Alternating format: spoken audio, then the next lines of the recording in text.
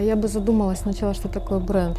Мне кажется, что это что-то типа религии. Это какое-то такое облако сконцентрированное, а, творческое, финансовое, физическое, эмоциональное.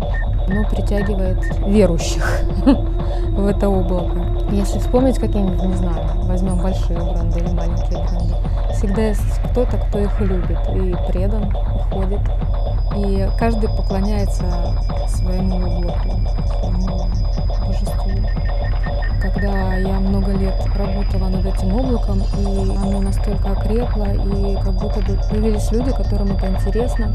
Это облако начало само по себе существовать. Ты можешь быть или не быть, существовать или не существовать, делать что-то для него или не делать, а оно существует как облако совершенно самостоятельно.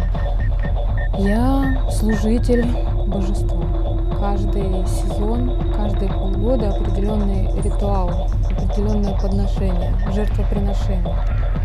Когда ты делаешь э, не для того, чтобы это кому-то понравилось, а просто делаешь все.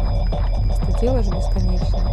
И вдруг то, что ты делаешь, если ты делаешь это искренне, это приобретает, начинает приобретать силу. Если на это уходит твоя внутренняя энергия и эмоция, и, не знаю, какой-то дух вообще работает над этим, то это превращается действительно в какой-то материальный объект и энергетический объект, который начинает иметь силу, влияние и вдохновляет других людей на что-то еще, на, на создание, на обучение, на жизнь, на размышления.